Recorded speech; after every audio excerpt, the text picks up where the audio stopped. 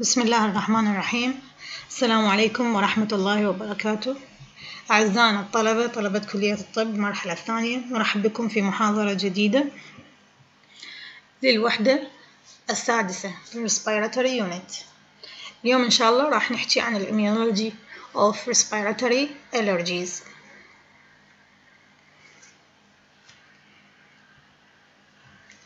خلينا بالبداية نتطرق شنو الأوبجكتيفز لمحاضرتنا لليوم راح نسوي refreshment أو reviewing لل hypersensitivity reactions especially type 1 وراح نعرف شنو التايبس وال definition of respiratory allergies and we will know the main risk factor of respiratory allergies and the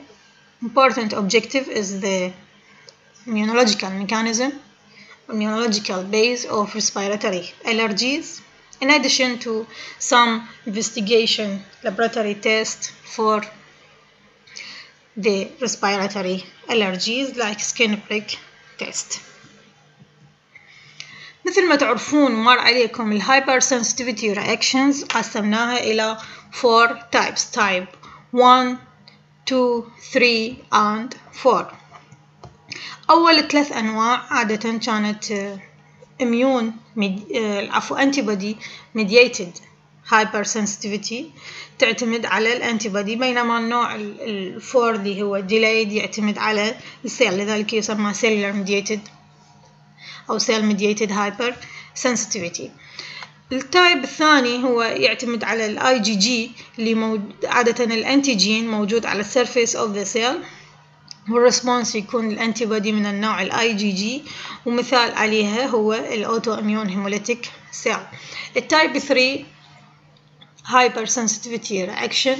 يصير ب immune complex وال immune complex راح يصير بها precipitation in different sites of the body فممكن تسوي لي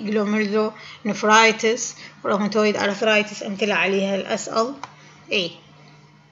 SLE ال type 4 مثل ما قلنا هو cellular mediated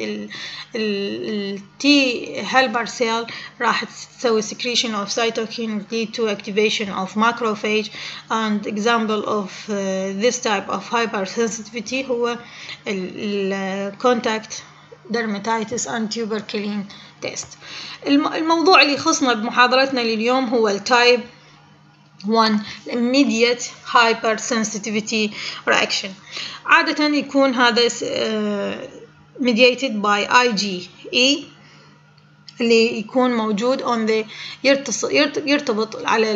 ال receptor on the surface of mast cell and the basophil بعدين راح يصير cross linking with the allergen مثل ما راح ناخذ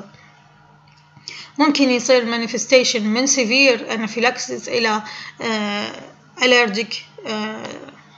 respiratory allergies مثل الأسمة والallergic rhinitis فأكو أشياء uh, specific للتايب 1 هي إنه البي cell will be stimulated by T helper 2 cell to to become plasma cell produce IgE antibody طبعا تفرق عن ال infection العادي اللي يصير بيه secretion of IgA G وال وال IgM هنا ال course أو ال pathophysiology راح يصير على مرحلتين. أول شيء يصير first exposure يسموه sensitization. يصير secretion of IgE وترتبط ال IgE antibodies on the surface of mast cell and the basophil على ال receptor FC receptor الموجود على هذه الخلايا ويسموها هنا sensitized cell ال mast cell وال basophil called sensitized cell بعدين راح بال second exposure آه راح يصير degranulation of the of this cell ال mast cell أو ال basophil وال degranulation راح تطلع لي ال vasoactive amines مثل ال leukotriene الهستامين البروستاجلاندين اللي ممكن يسوي smooth muscle contraction وال vasodilatation of the blood vessel. بصورة عامة type 1 hypersensitivity reaction ممكن يقسم إلى immediate and late phase immediate phase يكون ب secretion of these vasoactive amines اللي حكيناهم وممكن يكون من minutes up to 2 hours بينما ال late phase ممكن يستمر من ساعتين إلى أربع ساعات أو أكثر ويصير بي secretion of mainly cytokines يعني ال effect اللي تظهر بيه وال sign وال symptoms clinical presentation due to effect of cytokines فهسه شوف هذا مخطط بسيط الالرجين يصير ب presentation by antigen presenting cell for example macrophage بعدين الماكروفاج راح تسوي presentation of allergen to the T lymphocyte T lymphocyte طبعا راح تحول إلى T helper 2 lymphocyte وبعدين T helper 2 will activate the B cell to become plasma cell and secrete IgE antibody that will cross react with the allergen ال ال هاي شوف هنا ال plasma cell secrete the IgE وال IgE صار binded to the mast cell and basophil بعدين صار ال cross reacting بال second exposure re-exposure هذا ال first exposure sensitization re-exposure راح يصير cross linking of the antigen ويصير degranulation. يعني هنا بال second هنا تحضرت ال mast cell كأنما صارت انتحاري. بعدين بال بال second exposure كأنما يعني يصير بها rupture وتنتحر. و secrete the vasoactive amines اللي قلنا عليها مثل ال leukotrienes هنا صورة ثانية توضح لي السيتوكينز مثل ما راح ناخذها. يا هي اللي responsible for each step in pathophysiology. مثلا النايف T cell تتحول إلى T helper 2 under the effect of interleukin 4 البلازما cell uh, secrete the IgE under the effect of interleukin 4 and these cytokines 3 4 و 5 9 و 13 هذول responsible for activation of the proliferation activation of mast cell eosinophil and basophil هسا خلينا نحكي بصورة عامة عن ال atopy. ال atopy هي أي predisposition toward allergic hypersensitivity. عادة هاي ال hypersensitivity تجي منين؟ تجي من ال allergen مثل ما قلنا ال allergen هو عبارة عن small protein بال normal person اللي ما عندهم هاي ال predisposition for atopy هذا ال small protein المفروض ما يسوي immune response. لأن أنتم ماخذين قبل ال molecular size مال هو of protein هو اللي يحدد يعتبر الجسم antigen أو لا. فهنا هذا small protein يعتبر as allergen بالنسبة لهاي المجموعة من ال population اللي عندهم predisposition to word allergies. ممكن يكون هذا الالرجين بولين animal dander food or venom. drugs ممكن. If we want to talk what are the risk factor for atopy in general, there are genetic predisposition factor. الجينيتيك ميل اللي راح ناخذهم هنا genetic predisposition chromosome present on chromosome 11 and chromosome 5 على الكروموسوم 11 راح يكونون mainly responsible for IgE production اللي موجود على ال 5 Q وعلى الكروموسوم 11 encode the, the receptor اللي هو ال high affinity receptor IgE receptor فكل ما زاد الهاي افينيتي ريسبتور راح يزيد ال susceptibility to hyper sensitivity and allergy. الكروموسوم 5 يحتوي multiple gene responsible for interleukin 4 and interleukin 5 production granulocyte macrophage colony stimulating factor فبالنتيجة راح يكون مسؤول عن الإيوزينوفيل survival و mass cell proliferation other part of risk factor هو ال environmental factors environmental factors ممكن نقسمها إلى uh, early exposure to infectious uh, disease or particle in early childhood change بالدايت بالدايت بصورة عامة وال higher level of allergen exposure increase environmental pollution ال diet ممكن يعني حتى بال childhood اللي اكو بحوث تحكي على الأطفال اللي on bottle feeding مقارنة بال breast feeding ذول يكونون أكثر عندهم أكثر predisposition for atopic development أهم نقطة هنا بال environmental factors هي exposure of infection in early childhood يسموها ال hygiene theory كل ما كان الطفل عنده exposure to multiple uh, antigens during childhood راح تقل ال risk for development of atopy in childhood and adulthood يعني اكو negative association كل ما يتعرض لأكثر antigen و infection مثلا measles وال hepatitis viral infection خلال ال childhood راح تقل نسبة تطور الأتوبي بالنسبة لهذول البوبيوليشن طبعا التفسير وراءها إنه هو كل ما يتعرض لهاي الانتيجينات راح يسوي shifting بالarms of the immune response toward the T helper. 1 cytokine. بينما الأتوبي هي T helper 2 فراح يسوي shifting فيبعد ال immune response عن ال atopy وال hypersensitivity طبعا هذه النظرية طورت يعني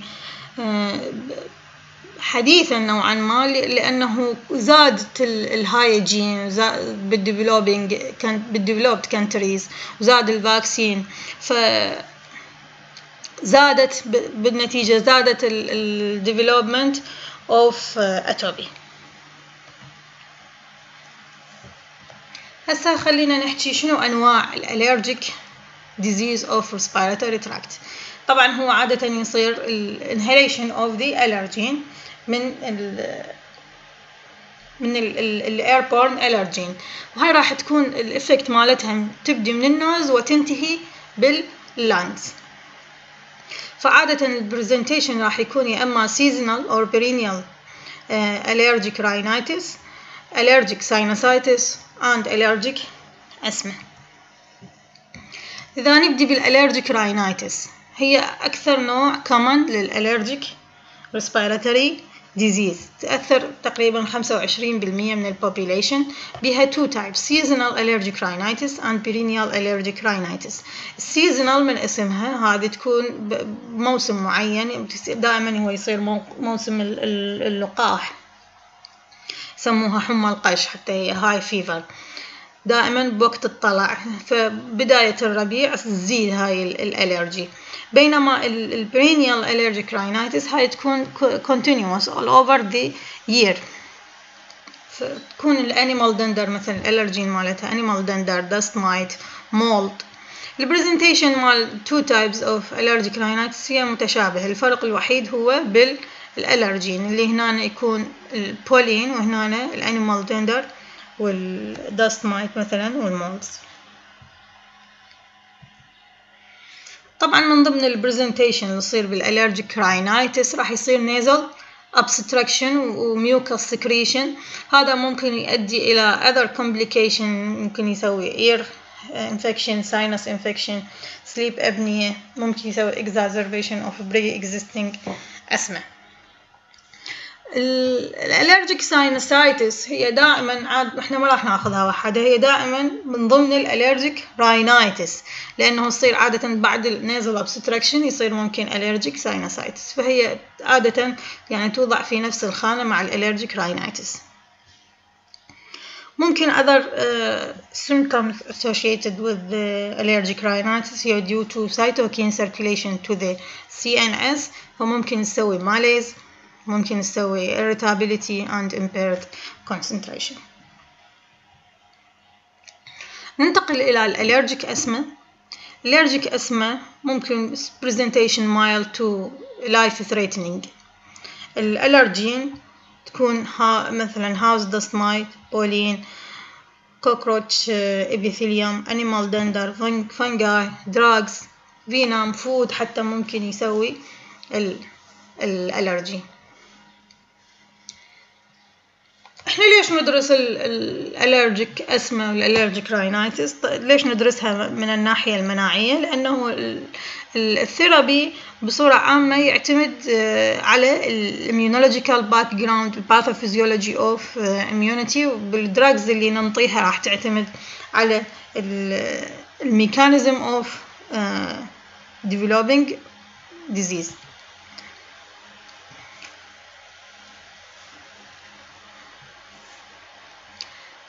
هسه دا ناخذ ال immunological mechanism بصورة عامة لكل ال respiratory allergies بداية الصورة أفضل تشوفون. بداية أكو لازم أكو antigen presenting cell هاي ال antigen presenting cell ممكن تكون dendritic cell وممكن تكون macrophage ال allergen راح يجيني شوف هنا هسه هاي ال airway المفروض سواء سواء هذه nasal mucosa بحالة ال allergic rhinitis أو ال mucosa of sinuses أو ممكن تكون mucosa of the lower respiratory tract of the uh, lung. فمن يجيني ال allergen اللي هنا هو مثلا pollen راح تيجي تاخذه ال dendritic cell for example. dendritic cell راح أسوي له antigen presentation to the T lymphocyte. T lymphocyte مثلا تكون هنا naive T lymphocyte بعدين راح تتحول إلى T helper 2 lymphocyte T helper 2 lymphocyte will activate the B cell B cell will be activated to secrete IgE antibody بعد ما تتحول إلى بلازما cell بعدين هذا ال secreted IgE antibody will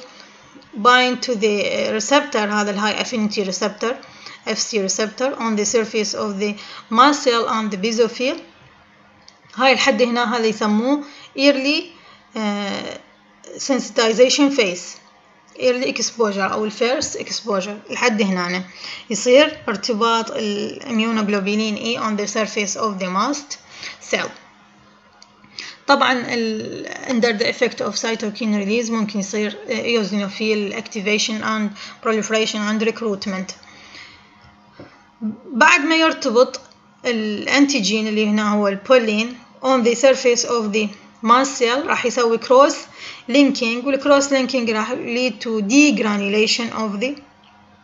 mast cell with the releasing of vasoactive amines اللي هي ممكن تسوي لي blood vessel uh, vasodilatation ممكن تسوي smooth muscle contraction ممكن lead to secretion of mucus from the goblet cell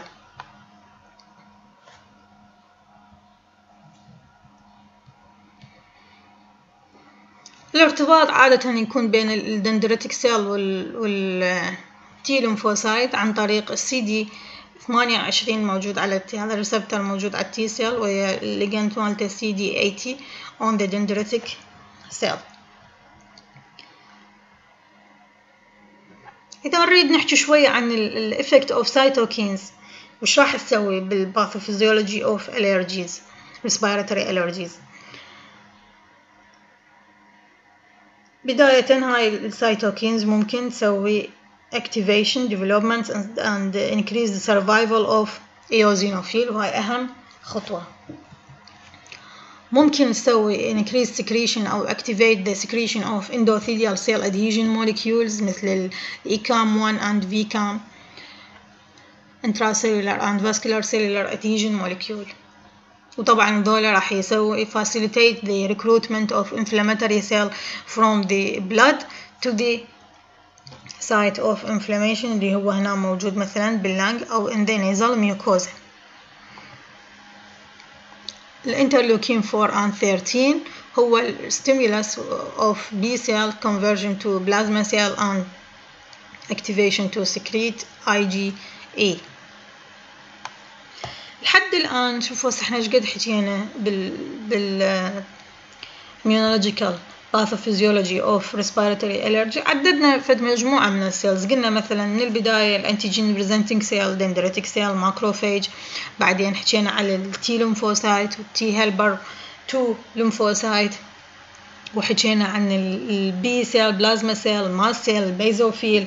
eosinophil دول ال cells اللي responsible for the pathophysiology of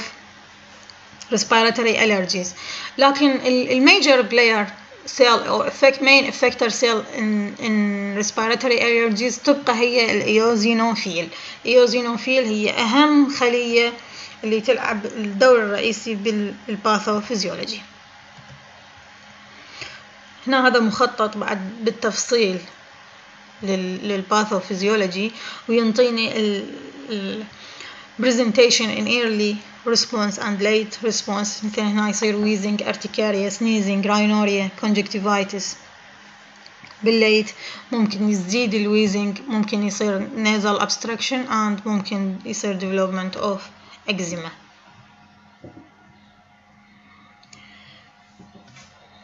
إذا نريد نتطرق شوية نحكي عن laboratory investigation in respiratory allergies مثل ما قلنا الخلايا اللي تزيد عن طريقها ممكن نعرف ال ال فد مؤشرات لل diagnosis of of asthma مثلا ال eosinophil إحنا قلنا ال eosinophil راح يصير activated ويصير بها proliferation فراح تزيد ال eosinophil. فواحد من ال test هو ال eosinophil count وحكينا عن ال major antibody play player in immunological type 1 hypersensitivity reaction قلنا هو ال IgE فممكن نقيس ال total IgE على مود نسوي diagnosis لل asthma أو ممكن نقيس specific IgE هاي حتى يعرفون شنو هو ال allergen اللي responsible for the immune response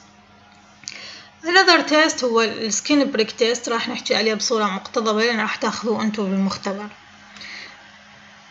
معناها إحنا ندخل ال allergen بال skin هو أبسط شيء. ندخل هذا ال allergen بال skin ونشوف الجسم يتحسس من عنده أو لا. شلون ندخله؟ بعدة طرق. مثلا أكو skin prick test يسوون ب needle pricking لل skin اللي رأس ال needle تحتوي على ال allergen. أو ممكن يسوون scratch بال skin ويخلون ال allergen. ممكن يسوي أكو intradermic test يحقنوا لل allergen بال dermis ممكن skin scrape test هم يسوون superficial scraping ويخلون ال allergen ويشوفون ال reaction. أو ممكن أكو patch patch test هذا patch يعني يحتوي على مجموعة من ال allergenات يتخلى مثل اللزقه على على ال skin ويشوفون ال reaction ال reaction عادة يكون ينتظرون مثلا ممكن few minutes ممكن يطول أيام ال reaction شو يصير ال reaction ممكن يصير redness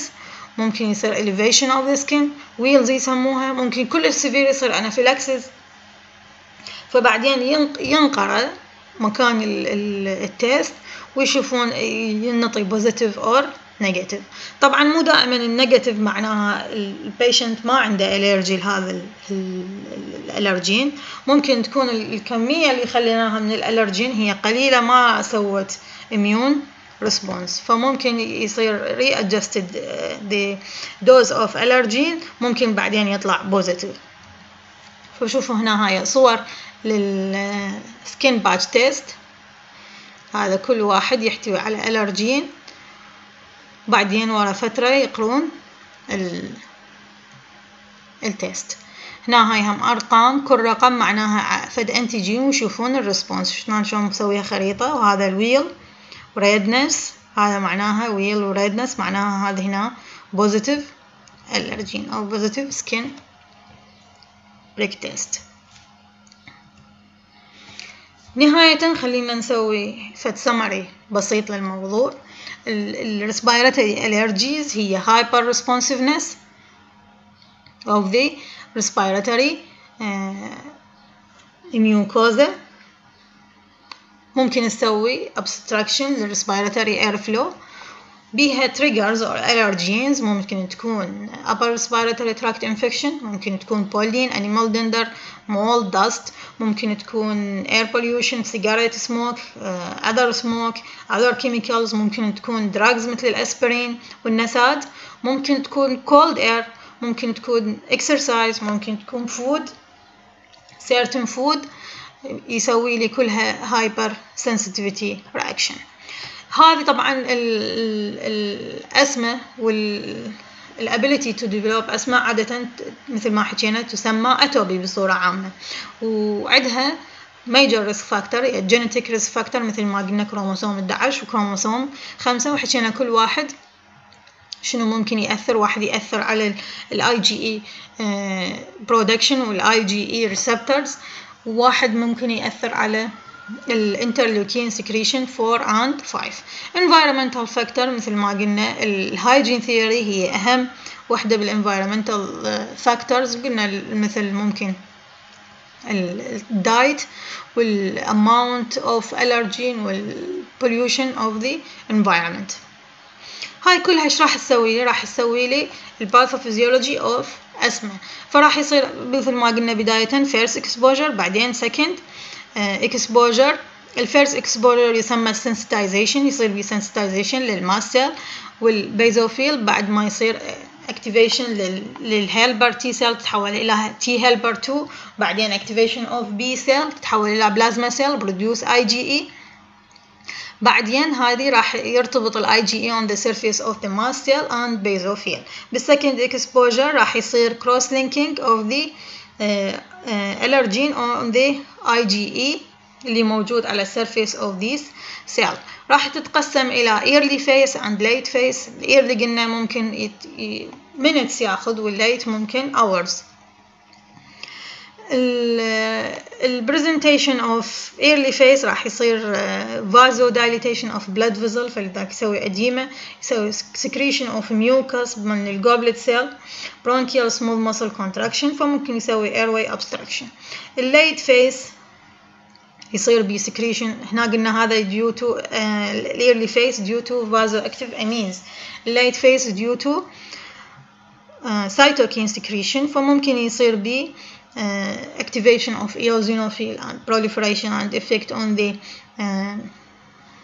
bronchial constriction conjunctivitis rhinitis. وهاي كلها بالنتيجة تعطيني البيكتشر of respiratory allergy اللي هي من ضمنها ال asthma لحد الآن إن شاء الله خلصنا المحاضرة. إذا عندكم سؤال تخلونا إياه على ال Google Classroom وشكرا جزيلا لحسن استماعكم. ونشوفكم إن شاء الله بالمحاضرة القادمة.